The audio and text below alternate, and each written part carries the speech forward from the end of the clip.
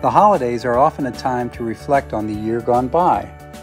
2021 has not been a kind year for Joe Biden and the Democrats. I thought I was beyond shock in this political climate, but even I'm amazed at the bad luck the Dems have endured.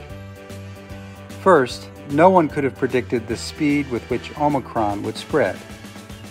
The unvaccinated are complicating things by occupying all the hospital beds. Joe Manchin, a Democrat, is playing the Grinch with Biden's Build Back Better agenda.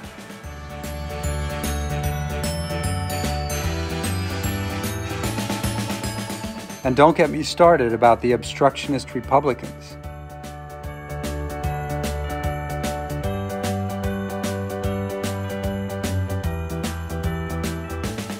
Then you've got inflation and Biden's inexplicable low poll numbers.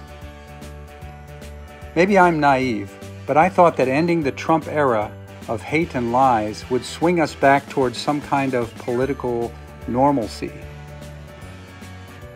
But Trump refuses to go away. I guess this divisive political state is the new normal. To paraphrase Tiny Tim, God help us, everyone.